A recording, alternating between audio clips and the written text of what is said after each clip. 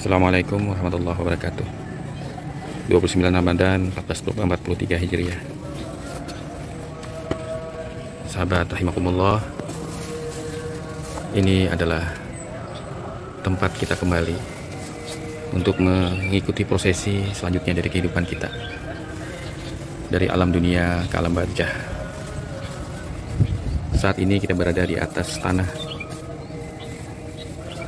beberapa waktu lagi yang kita tidak tahu akan berada di bawah tanah.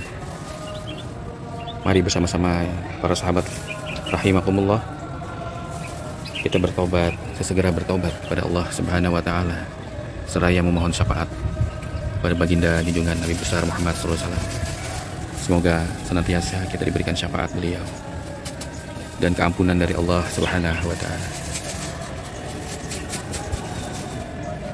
Allahumma salli ala sayyidina Muhammad wa ala ali sayyidina Muhammad. Assalamualaikum warahmatullahi wabarakatuh.